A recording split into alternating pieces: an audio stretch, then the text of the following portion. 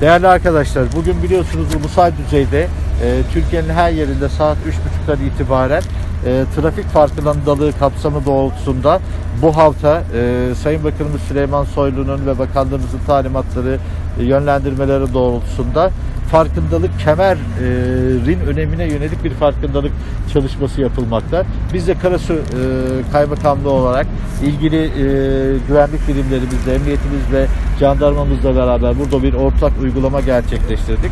Bu e, uygulamanın ana e, unsuru biliyorsunuz e, ana konseptimiz bir hareketine bakar. Yaptığın veya yapmadığın. Dolayısıyla hayatını kendi riske atmak istemiyorsan trafiğin belirlenmiş olduğu uluslararası kurallar ve standartlar sizin yararınıza olan mutlaka e, size katkı sunan yaşam kalitenizi hem kazalardan e, özürlü kalmama anlamında e, engelli kalmama anlamında hem de canınızı yitirmeme anlamında.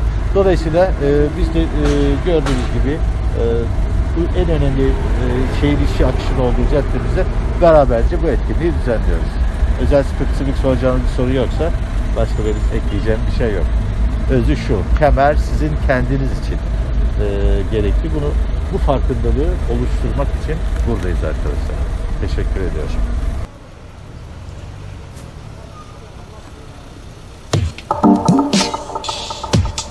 Ezilmeyin.